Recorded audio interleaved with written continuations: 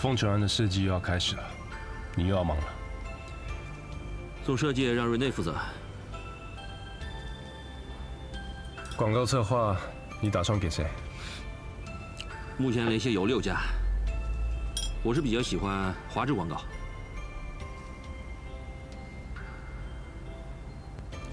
九通怎么样？九通，他说他花了很多钱请了陆万东，这个人不也曾是个金牌策划吗？专业上面应该没有什么问题吧？参与可以，要独自承接那不行的。你也要看程志芳愿不愿意啊，是不是？我们已经跟九通合作了这么多年，萧关也是算你的老朋友，你就不打算帮他一下吗？他既然这么想做，也花了这么多功夫，你就让给他吧。凭什么？凭他是谢小秋老板？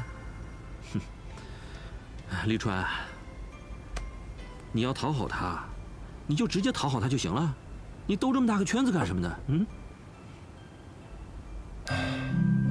他已经是谢小秋的男朋友了，那你呢？你算什么？我什么也不算，我也不算什么。反正萧关是一个好人，他对小秋不错，我也希望小秋有一个很好的对象，这样我离开上海的时候会比较安心一点。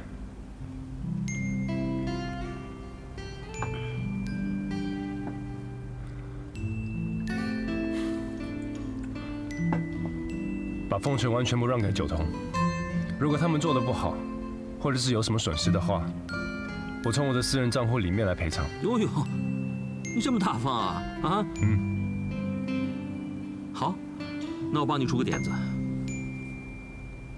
这华智广告是个不错的公司，规模并不算大。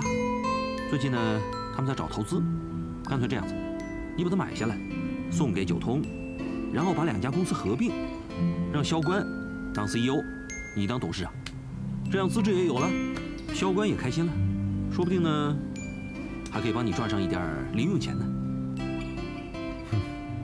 我没有傻到这个程度吧？Same here。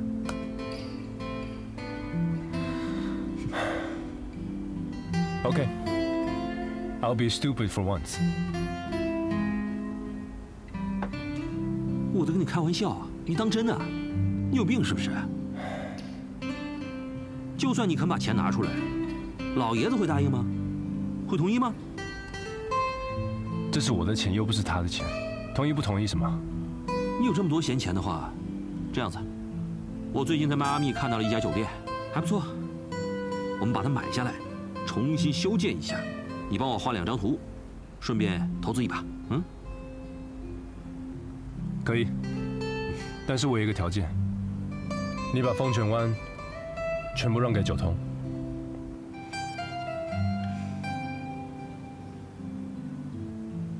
我个人是没什么问题，啊，但是我不知道林三凤会不会介意，你觉得他会介意吗？哦，对了。他下个礼拜的生日 party，你要穿的帅一点。我穿的帅一点？嗯，单枪匹马？你呢？你开玩笑，对付他我们俩得一起去。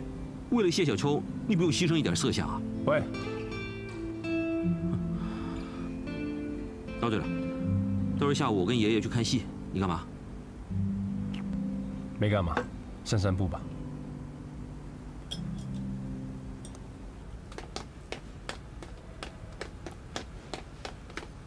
萧关，哎，小秋，我给你通报一声，我跟 GMF 解约了。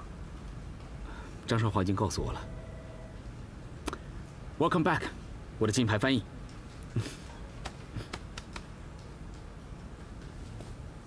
对不起啊，因为我都株连到九通了。这怎么算株连呢？我们都是一个战壕里的兄弟嘛，啊？啊，对了，来来，跟我来，来呀！怎么了？来，来，那这间呢就是你的新办公室，你的东西我都帮你搬过来了。哎，对了，来坐一下，试一下新位置坐起来感觉怎么样？怎么样？不错吧？这边视野很好。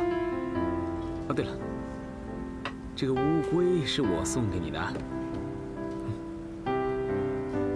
干嘛要送我乌龟啊？你看他，多么努力的往外爬呀！但爬上去又摔下来，爬上去又摔下来，就是爬不出来。是不是很像你？谢谢你对我感情生活的生动描述。既然说到感情呢，我就多说一句。小秋，你不了解男人。如果男的真的喜欢你，他一定会让你知道；如果他不喜欢你，只要他有良心，他也会让你知道。等你到了我这个年纪，你就会知道了。大家都很忙的，没有必要，也没有时间去玩这种感情的游戏的。小秋，你不要把男人想得太高深，在感情的世界里，男人比女人简单的多了。利川没有不喜欢我，他，他他也没有说喜欢你，是不是？但是我不一样，我喜欢你，我就会直说，而且我会用我全部的真心来对待你的。校官，我想重申一下我的立场。你不用重申你的立场，这我都知道，我都知道。你一直坚持你的立场，不过我还是相信，立场是可以改变的。小秋，如果钱不是你衡量男人的标准，我比王沥川更适合你的。小管，我忘了告诉你，啊，你升职了，拿着，好好干啊。